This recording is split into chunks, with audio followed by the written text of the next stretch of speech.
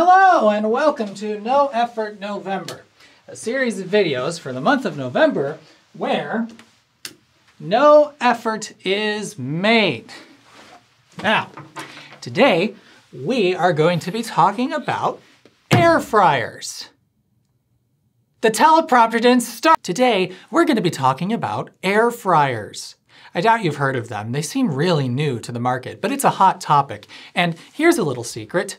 Air fryer is a meaningless term, and none of these devices are doing anything new at all. You know what this thing is? It's a convection oven with a basket. That's it. No, really, that's it. There's nuance to pick apart there, which I will because that's my job. But if you happen to have a convection oven, you already have an air fryer. Kind of.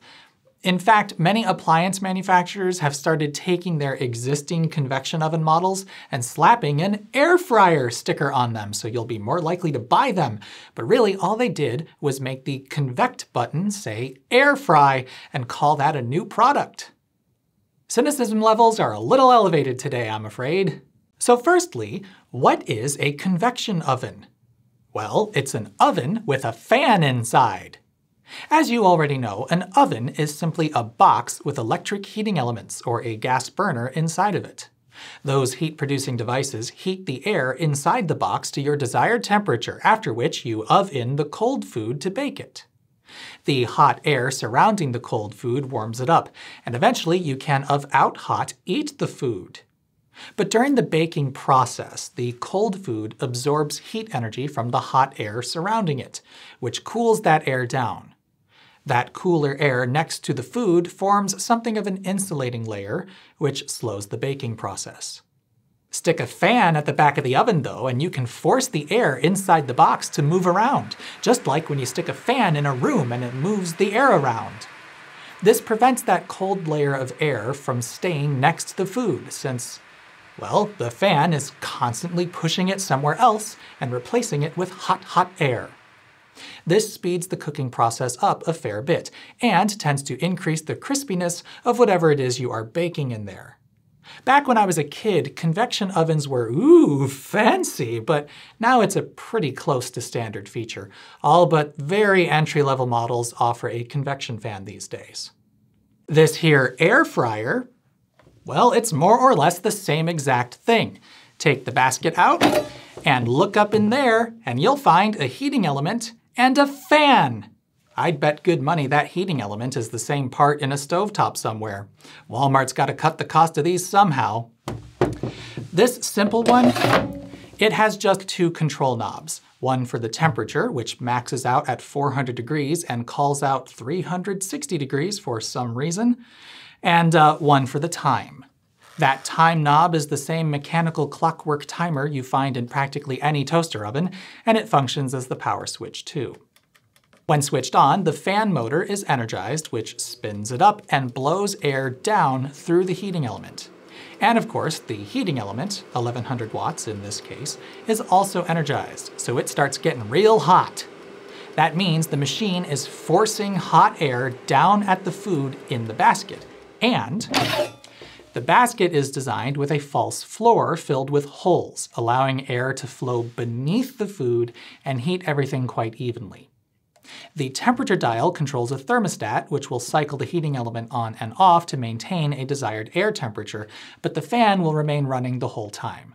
And that fan doesn't just blow air down through the heating element and at the food in the basket, but it also blows air out the back of the machine through this exhaust port.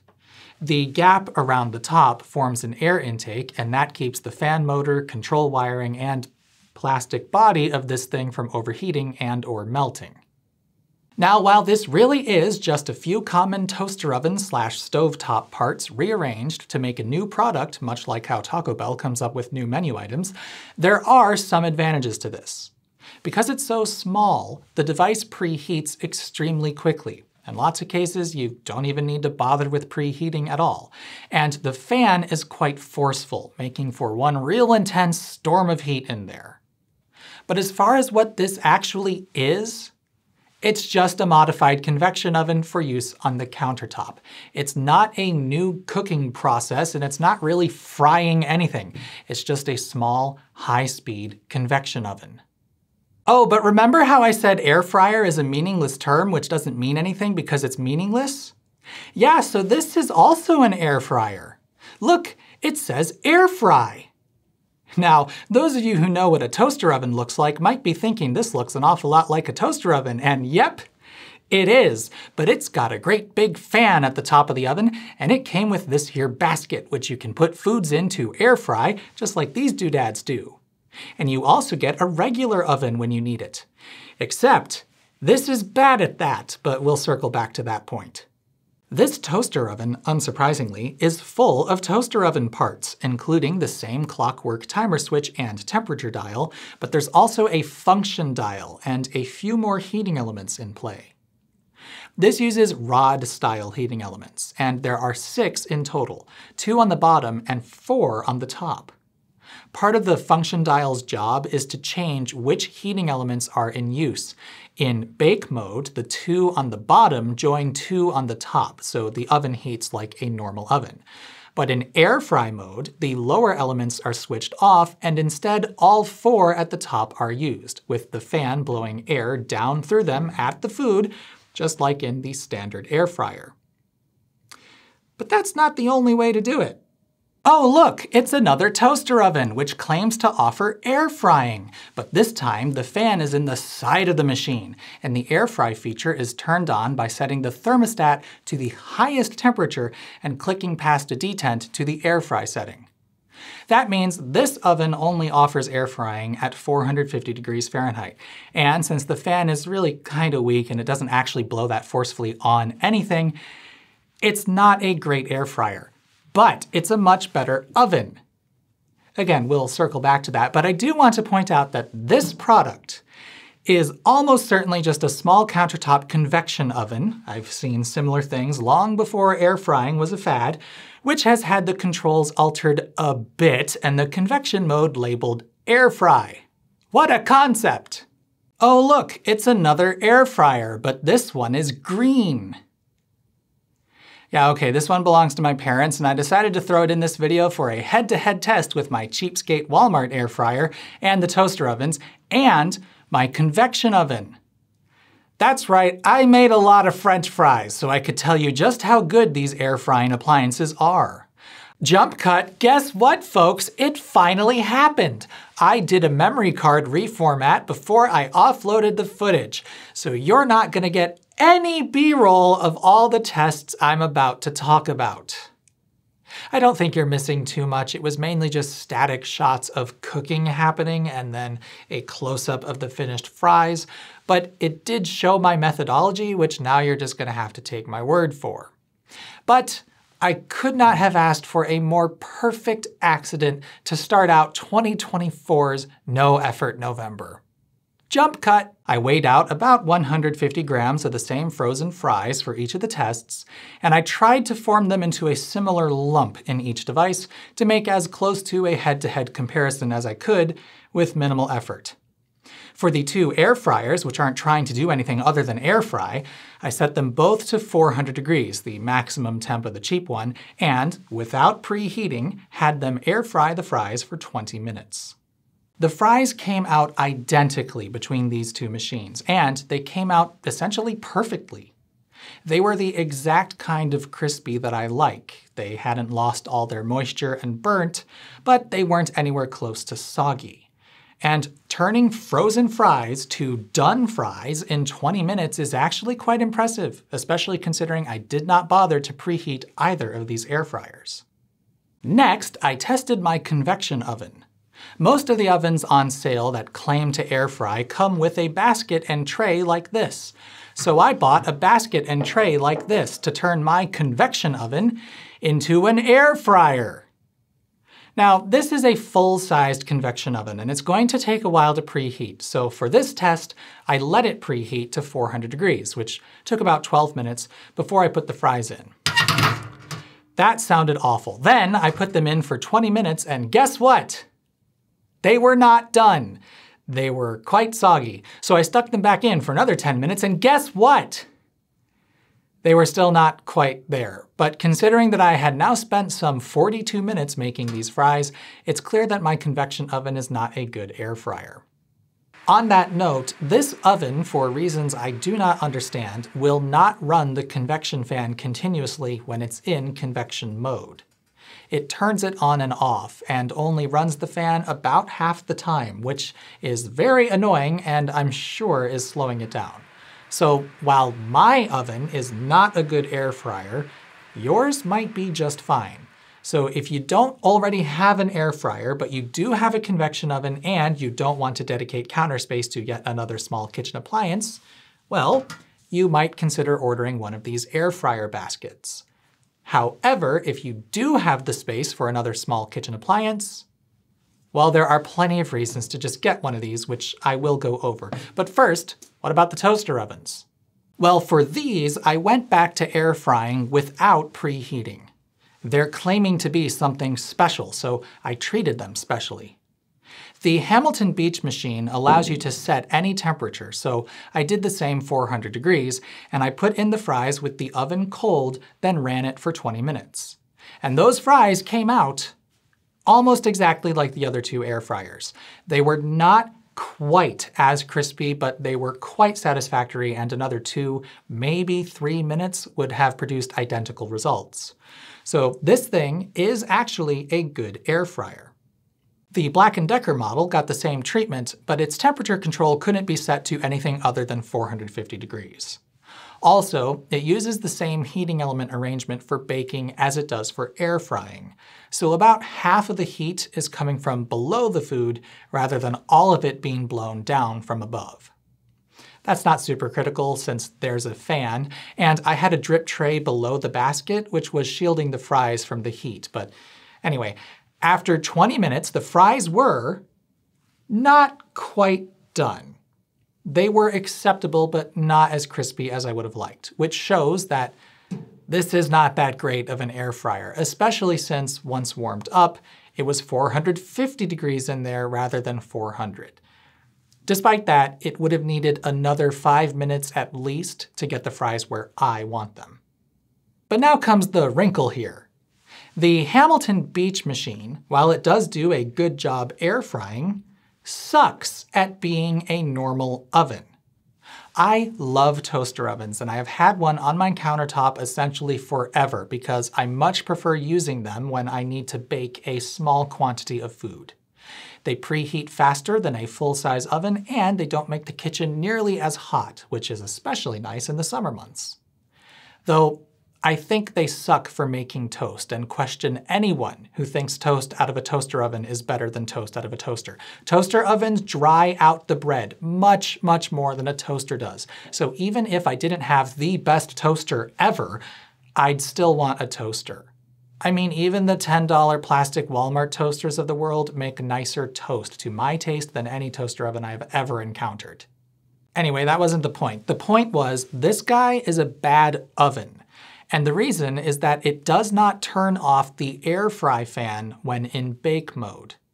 The fan is a two-speed fan and it slows down in bake mode, but it doesn't turn off, and that means there is no functional difference between the bake mode and the convection bake mode. Now, why does it do that? I wasn't in the room where it happened, so I can't say for sure, but just like these standard air fryers, that fan also serves to cool the fan motor and wiring since it's directly above a box which can have 450 degree air inside. I believe that fan has to run whenever the machine is on. This means you cannot use this device as a regular oven without making significant adjustments. When I first used it, I burnt the Brussels sprouts I was roasting to a crisp, despite following the same procedure I have always done for Brussels sprouts. And it's not the thermostat. I used an oven thermometer to verify and the temperature dial is close to spot on. It's the fan. This thing is always quite a forceful convection oven, and I found myself constantly lowering the temperature by at least 50 degrees to get similar results to what I was used to. I eventually got tired of this, and that's why I ended up buying the Black & Decker machine. This guy is not great at being an air fryer, but you can use it like any ordinary oven without thinking. And its pseudo air fry mode does come in handy for some things, including roasting Brussels sprouts. But I think of this as a conventional oven with a single convection setting and not an air fryer. These two machines have revealed to me that combining the functions of a toaster oven and an air fryer presents an insurmountable design compromise and has turned me against suggesting one of these over a regular air fryer. And that's before we even get into the ergonomic benefits of an air fryer. The basket with a handle it's quite a lot easier to deal with because you don't need a towel or pot holder or of glove to take a hot wire basket out of a hot oven. You can simply grab that handle and dump the contents onto a plate or a serving bowl. That doesn't work for all foods, and it's not like the air fryer replaces an oven, but for the foods where it does work, that's a neat trick. And an even neater trick is that some air fryers, even this really cheap one, have baskets which are dishwasher safe, and that makes cleanup effortless. So, believe it or not, I think these are more than just a fad, and having one in your life, if you don't already, is probably worth it. They're cheap enough now that quite honestly, if you've been wanting to try one, you should go for it. This one wasn't even 30 bucks.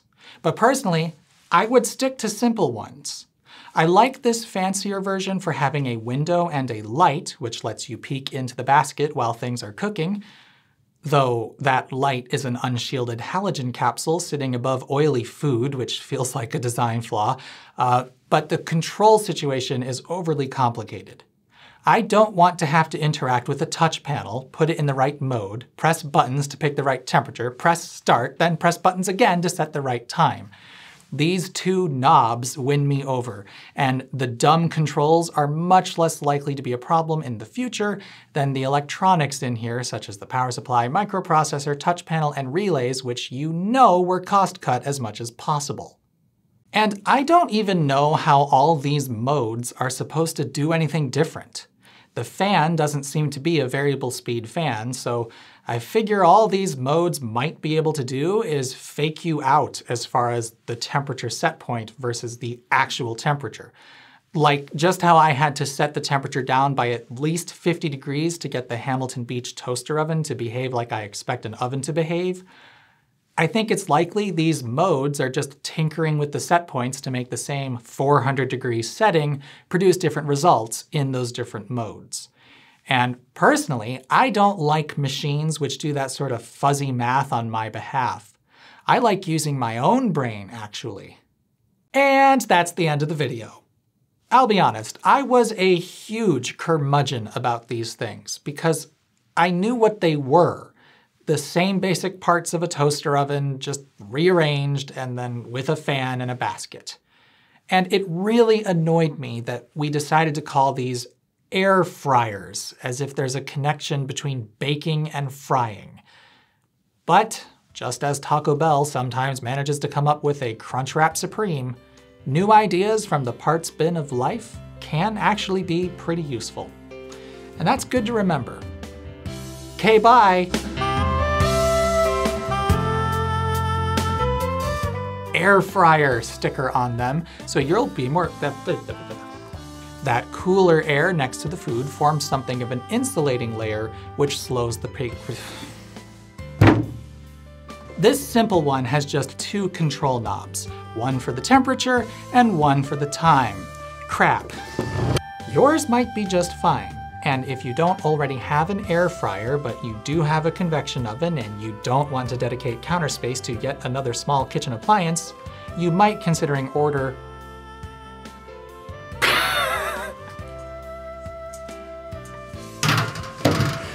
did that happen? anyway, that... well,